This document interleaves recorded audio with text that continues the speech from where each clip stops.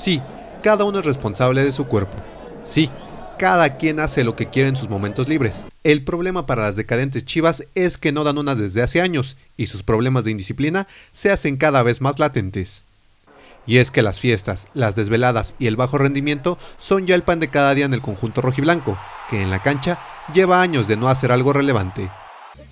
La dirigencia tapatía ya venía sufriendo con las inclemencias de Jorge Enríquez y Marco Fabián, quienes tras ganar la medalla olímpica pasaron más tiempo entre fiestas y reuniones que en la cancha, y en algunas de esas se llevaron a promesas del rebaño como Carlos Fierro, una de las tantas razones por la que los tres personajes terminaron relegados de las selecciones nacionales.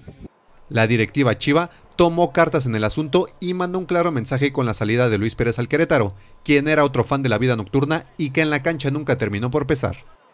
Pero el tema se volvió a repetir. Por eso, ante el Atlante, Chivas tuvo que prescindir de cuatro pilares claves de su oncena, Miguel Saba, Miguel Ponce, Marco Fabián y Héctor Reynoso, quienes presuntamente salieron el viernes por la noche a divertirse, a menos de 48 horas del partido contra los Potros y apenas un par de días después de que el Veracruz los fuera a exhibir al OmniLife. Tras el partido, el director deportivo del Chiverío, Denis Teclos, aseveró que habrá severas sanciones para los involucrados, a quienes les aconsejó que se preocupen más por su futuro. Yo fue un jugador exageradamente limitado y tuvo que hacer tanto, tanto extra para poder más o menos sobrevivir en el mundo fútbol.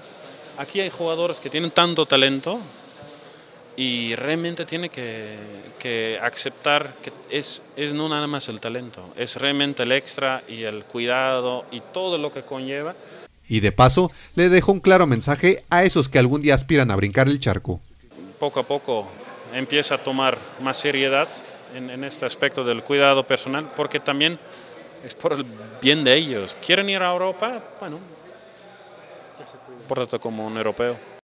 Sí, es cierto, cada uno es libre de hacer lo que mejor le plazca, pero en el rebaño ya están cansados de que sus jugadores se muevan mejor en las fiestas que dentro del terreno de juego. Por eso, o las chivas descarriadas retoman el camino o se apartan del rebaño a buscar nuevos rumbos.